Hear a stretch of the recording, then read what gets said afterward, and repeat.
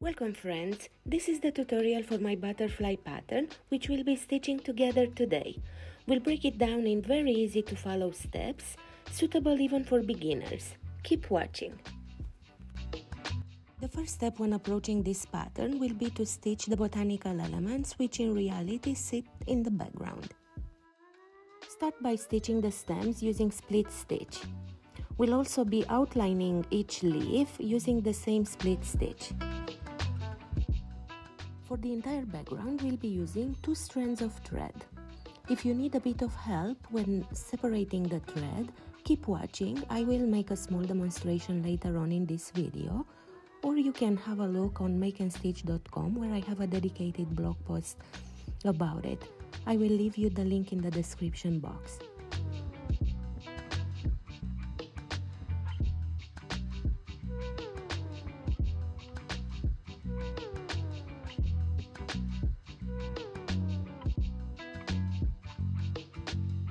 Continue this process until you have completed all stems and you have outlined all leaves.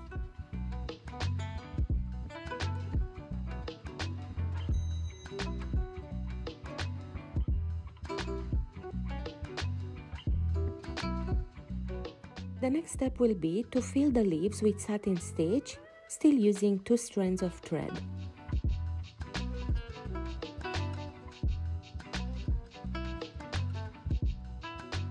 In order to keep your back tidy, you can still use knots. As you see here, I've knotted my thread, but I'm starting from the front. I keep my knot on the front right side of the embroidery and once I complete a few satin stitches, I will cut out this knot. This way my back will keep nice and tidy.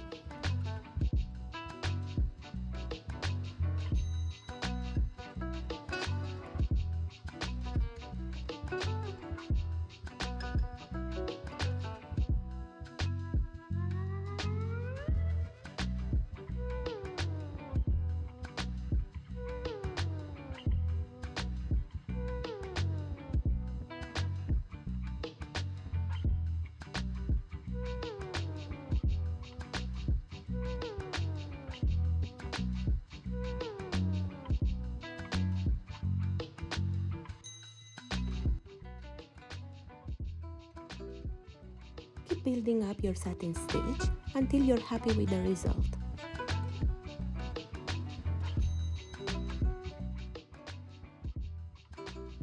Another thing to consider when stitching the leaves is to change the direction of your stitches. If you see here, all these leaves are stitched at a different angle. This will make your work look a bit more dynamic. This point, we'll be stitching the butterfly using just one strand of thread. Separate one strand of black thread and pull, while firmly holding the rest. The process of stitching the butterfly is really easy. We'll be starting by filling in all the black areas using irregular straight stitches and in some places long and short stitch. After, we'll be adding the colors, the blues, and uh, as the, the order of work will be first stitching the wings and leave the body at the last step. So as we said, we'll be starting out by adding irregular straight stitches and filling in these black areas. One very useful and I recommend you do that when you're tracing your pattern onto the fabric, fill in and color in these black areas with your tracing pen this will help you a lot uh, and uh, you'll know exactly where to place these black irregular stitches. The way we'll be stitching this needle painting project is a bit different than the usual process. As I mentioned before, we'll be stitching each color at a time. We'll start by filling all the black areas, then switch to the darkest shade of blue and fill in all the sections with this shade, then repeat the same process with the medium and light blue. This is a bit different than the usual needle painting technique, where if you think about a needle painted flower, for example, you would be starting from the outside towards the narrower area, stitching the first row of the long and short stitch with one shade, then switch to the next row with a different shade, and then again another row in a different shade, and so on until you build up a nice shading. Then you might be asking, why are you not, we not stitching the butterfly in the normal manner? Well, You could stitch the entire butterfly the proper way, of course, or you could stitch one shade at a time, as I will show you in this tutorial. I find this method much easier to stitch, much easier to explain for beginner stitchers, and much faster to complete.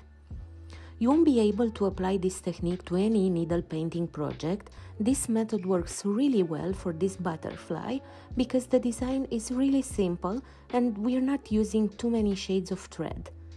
For a much more complicated needle painting pattern, this method of stitching each color at a time, I'm not sure it would work out very well, especially if you are a beginner.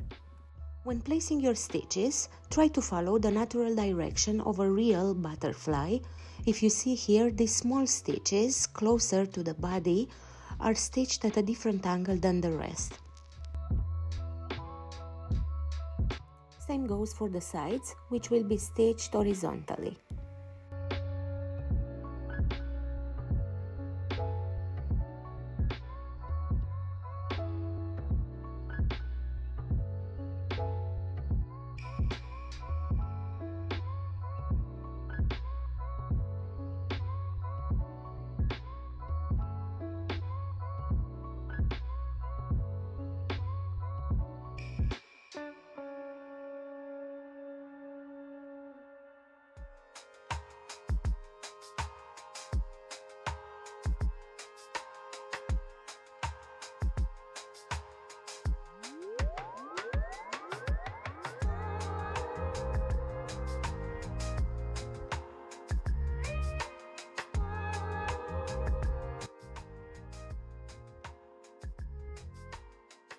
Moving forward to the veins, we'll be stitching these in long and short stitch using one strand of black thread.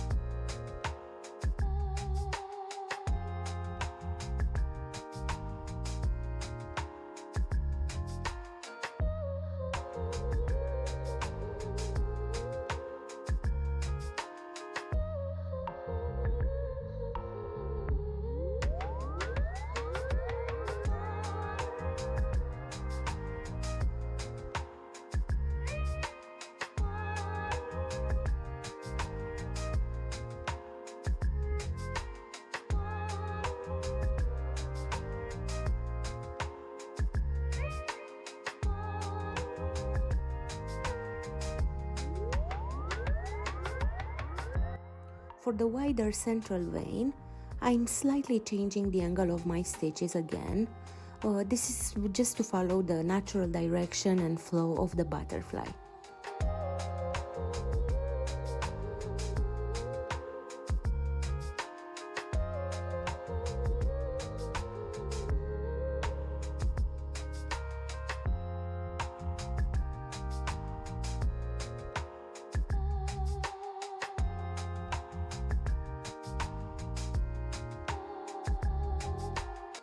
Once you completed filling the black areas of the left wing, go on and fill the right hand side too, applying the same technique.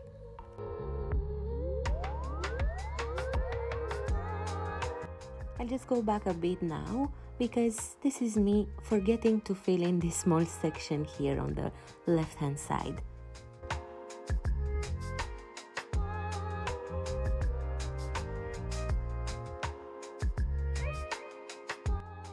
That we filled all the black areas using irregular straight stitches and long and short stitches, we'll be creating a thin black outline around both sides using split stitch.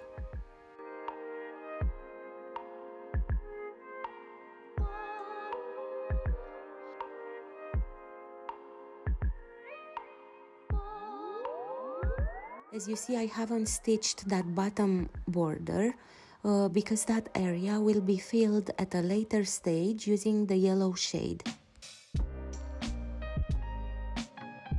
Repeat the exact same process for the other side. Using split stitch, outline all those areas for the right wing too.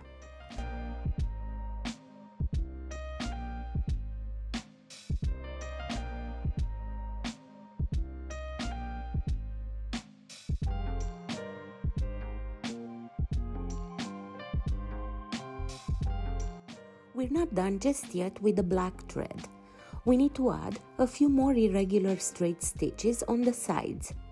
You can hug the black outline you previously stitched, but try to keep a neat exterior of the wing. Your stitches should be irregular towards the inside. The reason for creating those outlines in the previous step was to create a hard border on the outside, but on the inside the stitches should be irregular to create a nice blending effect with the shades we'll add later on.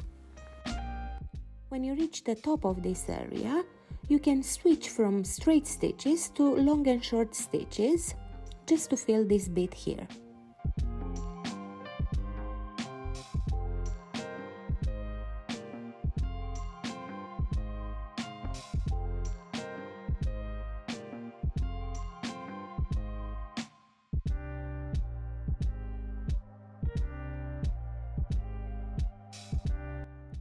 Go on and fill the other wing too, applying the same technique.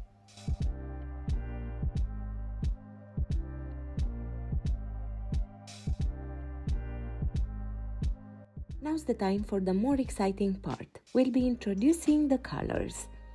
I'll be starting with the darkest shade of blue and fill in all the areas where I want this shade to sit. This is a common strategy used in traditional oil painting to start from the darkest darks, gradually progress through the midtones, and add the highlights right at the end. And this is exactly how we'll be stitching a few sections of our butterfly.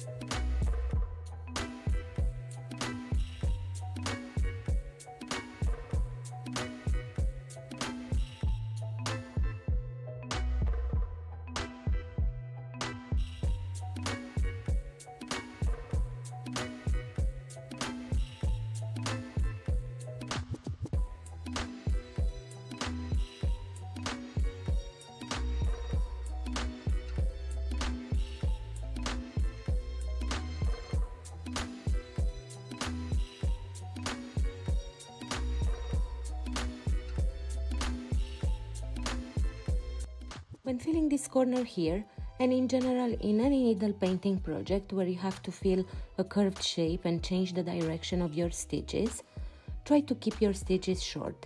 You can go back to the normal length of the long and short stitch right after you pass this corner.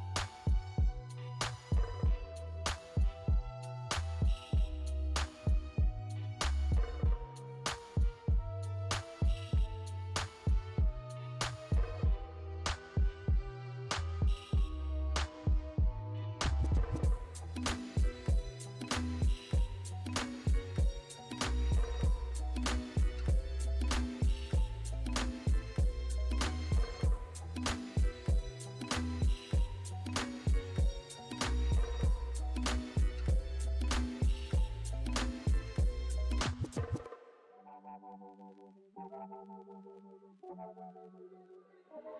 be.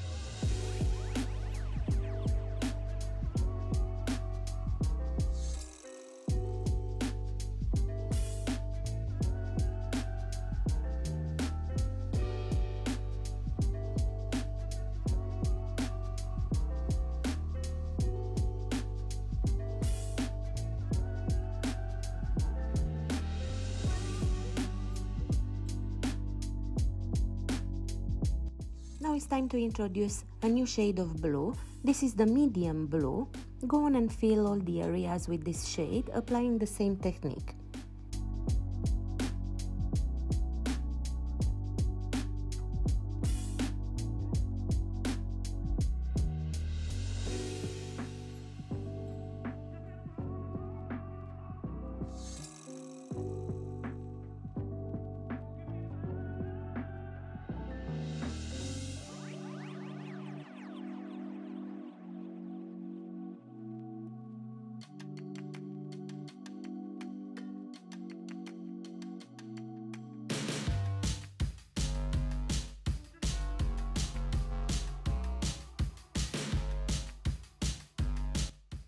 Leave the bottom area empty. That area will be stitched uh, later on using the lightest shade of blue. That's where the highlights will sit.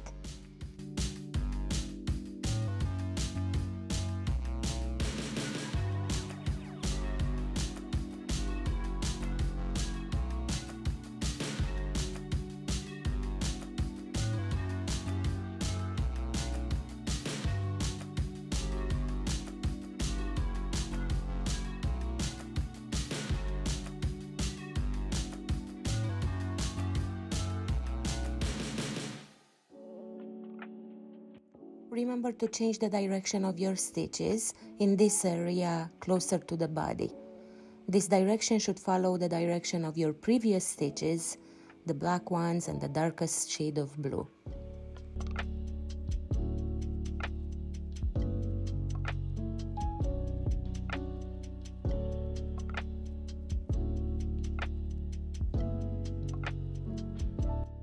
Fill in the extremities using the same medium blue using irregular straight stitches.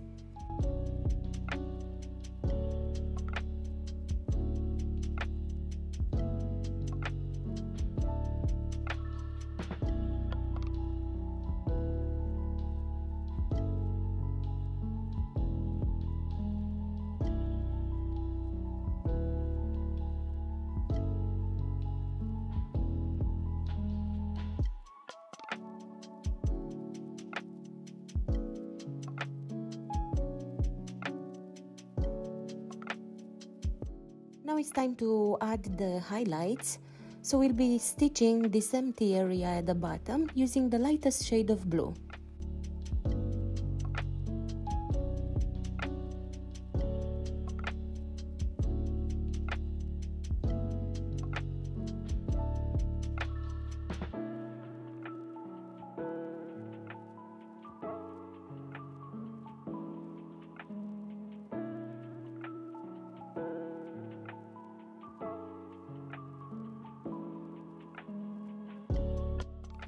When stitching these small tree sections between the veins, we'll be applying the proper long and short needle painting technique.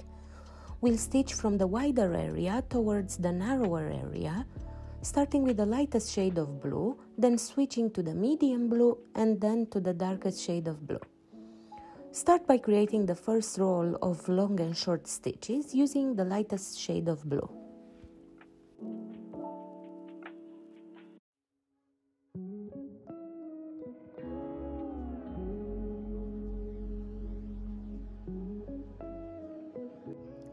Finish stitching the first row, start the second row of long and short stitches using the medium shade of blue.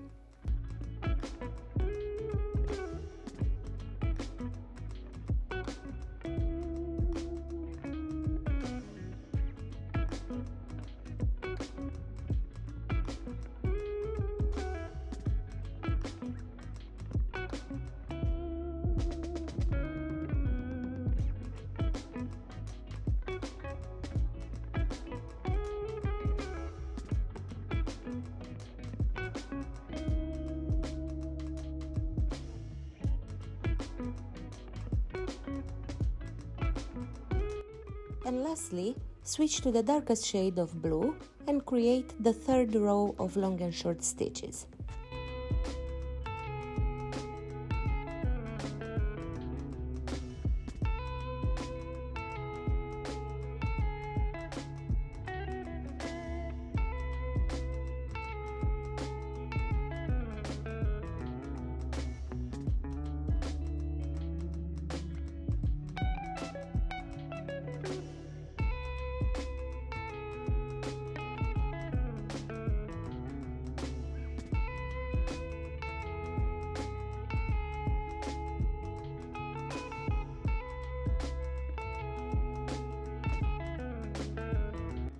Repeat the same process for the other two sections. The only difference is for the middle one, because it's so tiny, you won't be able to create the shading using all three shades of blue. So just create your long and short stitches using the medium and the darkest shades of blue. Now it's time to stitch the other side of our butterfly and we'll be applying the exactly same technique.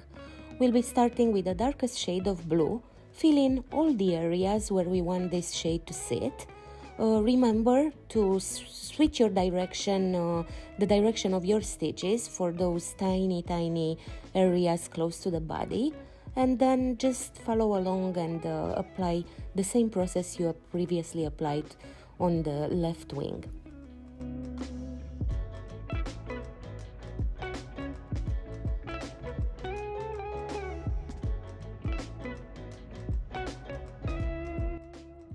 Once you filled all areas with the darkest shade of blue, it's time to switch to the medium blue and fill in the areas where you want this shade to sit.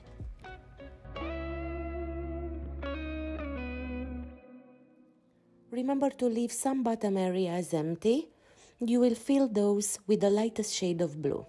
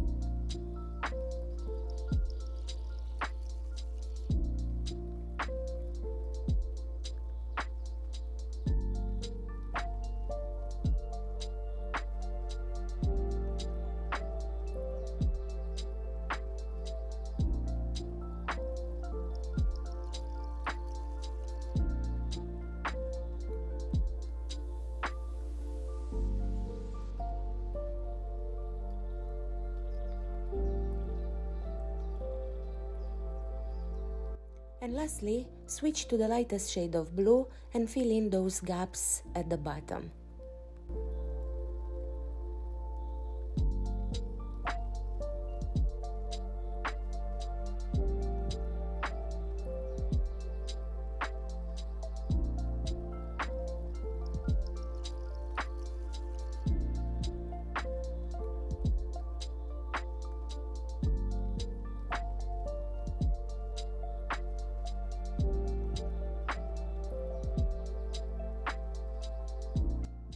Once you finish stitching the wings, it's time for the last part, stitching the body. We'll apply the same technique. We'll first add the black irregular straight stitches, then the blue shades. As you notice, we don't have any hard outlines, and the reason for that is we want to create a realistic outcome. So do not worry if your black straight stitches look irregular. This is okay and will only add to this nice realistic effect.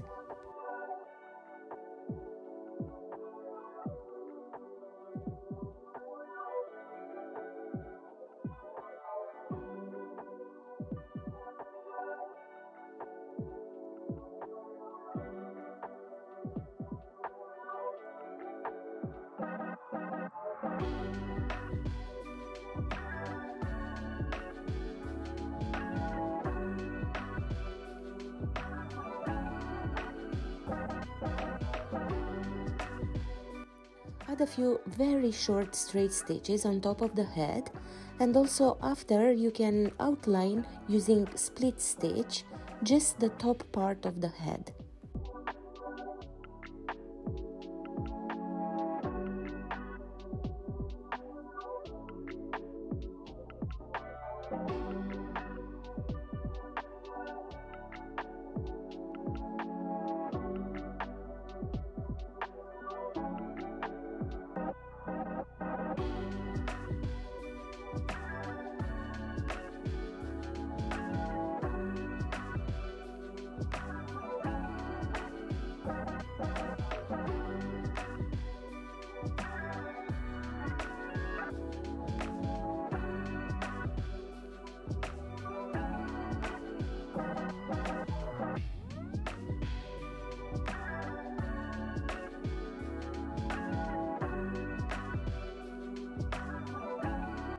Once you fill the black areas, switch to the darkest shade of blue and using long and short stitches, uh, fill in the body and the head.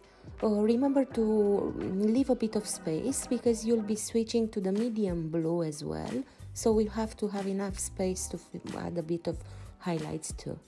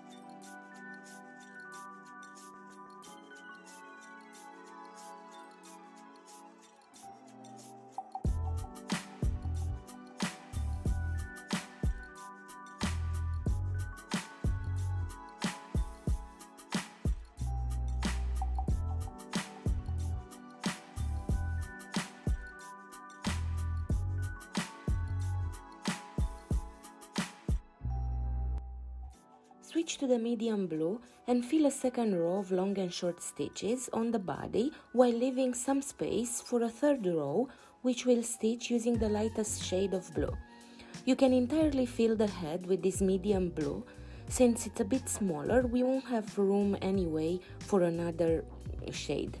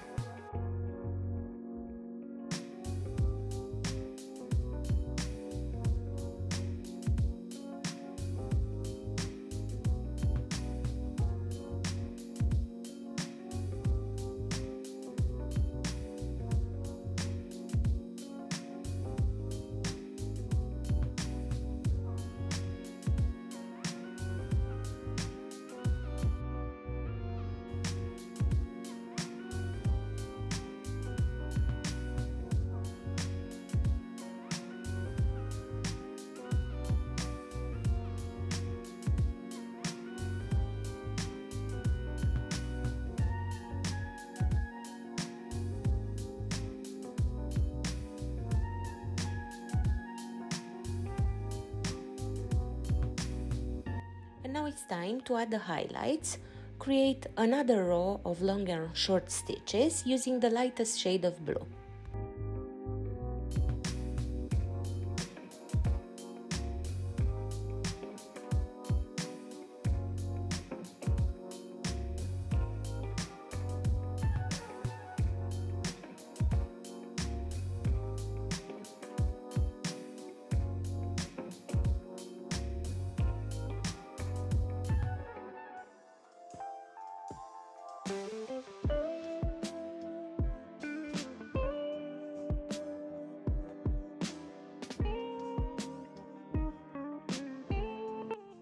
If you feel the need to increase the contrast, you can uh, add a few straight stitches using white thread, uh, same as I did, just on the extremities. Uh, what I also did, I created a very thin outline using the same white thread just on those extremities.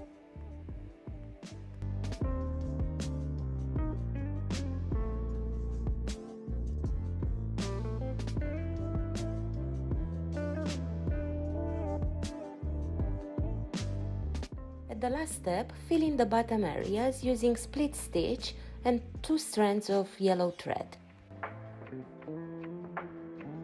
And this was it guys, thank you so much for watching. I hope you found this tutorial useful. You can download this pattern from my Etsy shop and use this video in addition to the PDF guide you have downloaded.